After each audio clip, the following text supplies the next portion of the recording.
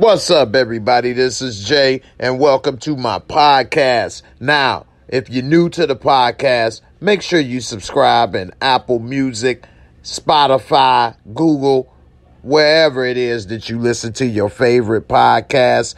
I appreciate the support. And if you're watching this podcast on YouTube, Thank you for your support as well. Don't forget to subscribe, bang that bell, thumbs up, all them goodies. Appreciate it. And of course, definitely do my favorite comment. I love to check out everyone's comments. Let me know your thoughts below. Now, this podcast is about the Showtime Network canceling three very good shows all in the same week. They came out like the axe murderer swinging cutting down three shows in one week.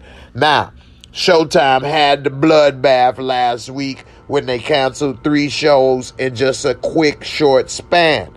Jeff, the Jeff Daniels crime drama American Rust was the first one to get the axe, followed by the comedies Black Monday and Work in Progress. American Rust lasted only one season while Work in Progress was canceled after two, and Black Monday with Don Cheadle was canceled after three. So they hit them with the one, two, three piece special and cut down three good shows. American Rust was an adaptation of the Philipp Meyer novel and starred Daniels as a Pennsylvania police chief whose town is rocked by a murder that involves the son of a woman he loves, played by Maura Tierney. We can confirm that American Rust will not be moving forward with a second season, Showtime said in a statement to Variety on January 25th.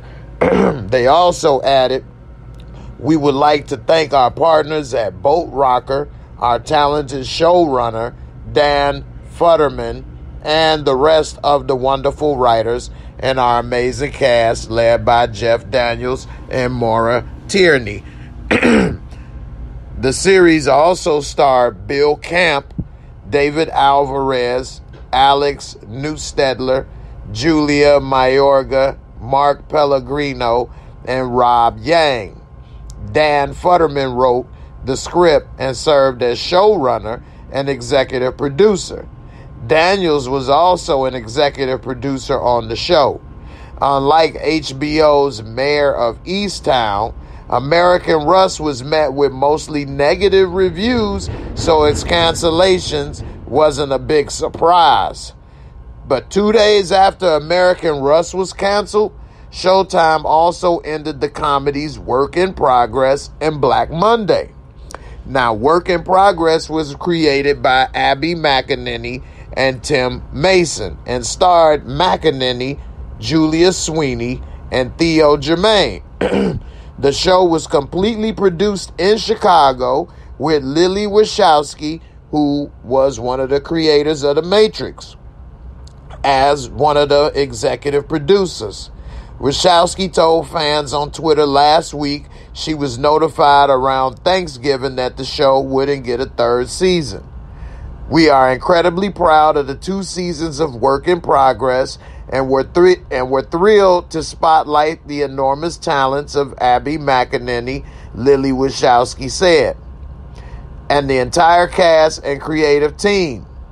Showtime told Variety, "We look forward to having our subscribers continue to discover this special series on Showtime streaming platforms for years to come."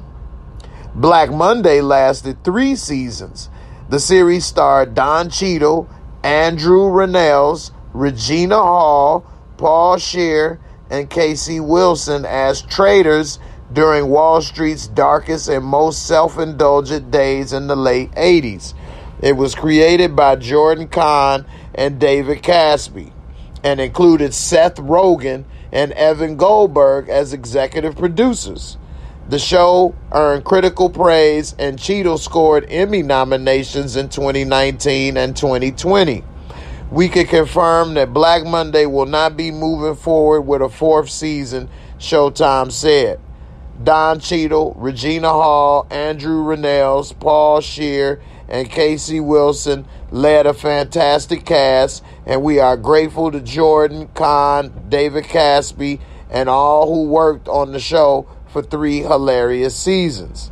American Rust, Work in Progress, and Black Monday are all available to stream on the Showtime app. And although these shows didn't make it, Showtime did recently score a big hit with Yellowjackets. That show was renewed for a second season in December. Well, you guys let me know what you think. Do you think HBO got it right or wrong by canceling these shows with so much potential? American Rust, I did catch one episode. It looked interesting. I didn't really get to get into it and see much more of it. Black Monday was awesome. I loved that show. It was amazing. It was only around 30 minutes an episode. Don Cheadle, Regina Hall chemistry was off the charts. Not only was it funny, it was interesting, witty, intelligent. It was a home run to me, and I'm just shocked and surprised that they canceled it. I guess maybe the storyline was starting to get towards the end because as they moved on, I guess they were now moving out of the 80s period where all the most of the interesting things happen. But I would have loved to see how the characters progressed. And Work in Progress was a very good show as well. I didn't know about Work in Progress at first. For some of you all that watch my show and stay tuned often, I was a part of the cast for Work in Progress season two, and I was in four episodes. I never heard of Work in Progress until I got the role, and then I went back and watched season one, and then of course I filmed season two. It was actually actually very good and much better than I expected. And to be honest, I may not have watched it had I not have been a part of the show. Now, the one thing I think hurt work in progress is its extremely late time slot. The first season, it had better ratings and it was critically acclaimed, but the second season, I didn't hear about the critics, but the ratings were not as high, and I think it's due to being on at such a late time period where many people could not see the show. Unfortunately, Work in Progress was canceled, and maybe with streaming services such as Netflix, maybe these shows may be able to get a second life and end up on Netflix. We've seen other shows get picked up by Netflix and continue, such as Manifest. You guys let me know in the comments below what do you think about these three shows getting canceled so soon? Please give me your honest opinions. And would you like to see any of these shows come back to life on Netflix or on another streaming service? HBO Max now has shows that they just do only for HBO Max subscribers. Maybe they can bring back some shows on Showtime as only on the app. Who knows? Let me know your comments, your thoughts below and I'll see you all on the next video. Of course, don't forget to subscribe, bang that bell, and I'll see you on the next podcast or video, depending on where you consume my material. Thank you very much. Take care, and I'll see you all later. Peace, be safe, and I'm out.